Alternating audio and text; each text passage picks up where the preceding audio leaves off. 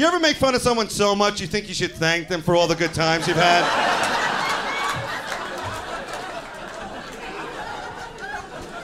I've got a midget friend, an albino friend, and another friend who thinks Lord of the Rings is real. Together we call ourselves the Unfuckables. Now, coming this fall to Fox, the Unfuckables. People are so defensive, especially women, you know. Come on, ladies. I offered a girl a Tic Tac one time. You know what she says to me? She goes, Oh, do I need one? Is it my breath? Do you think I need one? I'm like, I'm just trying to be nice. If I was going to give you something you need, it would be mustache wax and a t shirt that says one cock at a time, all right? wow.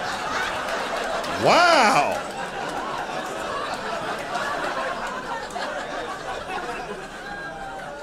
I think it's hard for you ladies, you know, because you go see these movies and you think these Brad Pitts and Will Smiths and Leonardo DiCaprio cocks are going to come waltzing off the screen into your life, taking out all fancy to like an Olive Garden or Pizzeria Uno or something and make love to you with a condom without fingering your asshole and then call you within a week. Well, wake up!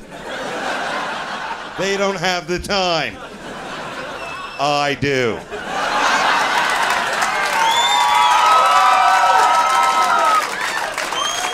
All right.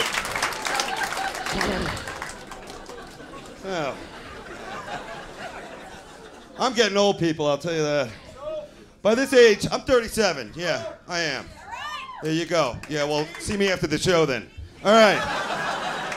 By this age, I didn't think I'd be doing comedy. I thought I'd be living in Hawaii, driving a red sports car with my black friend who flies a helicopter, solving murders.